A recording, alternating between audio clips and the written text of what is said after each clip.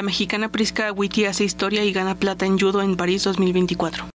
Histórica. No hay otra palabra que describa mejor la medalla de plata que se colgó la mexicana Prisca Guadalupe Agüiti Alcaraz en los Juegos Olímpicos de París 2024. La judoka hizo una sesión excepcional superando, pero no pudo ante Andrés Jaleski. Aún así, este resultado la convirtió en la primera mexicana que consigue una medalla en los Juegos Olímpicos en esta disciplina. La plata es la presea 75 en la historia del deporte nacional, lo que incrementa su valor. Además, es la segunda para la delegación mexicana en París 2024. Las lágrimas que soltó Prisca en su pase a la semifinal no se comparan con las que recorrieron su rostro tras este combate porque sabía que es un hecho anecdótico. Al conseguir su pase a la semifinal, la mexicana decidió aprovechar su descanso para salir a abrazar a la familia para regresar al tatami llena de motivación. Quedó claro que ese abrazo con todos sus seres queridos la hizo más fuerte en la semifinal y no se diga en la final. Hace siete años Prisca decidió representar a México, el país que vio nacer a su madre. Hoy es una histórica de esta nación.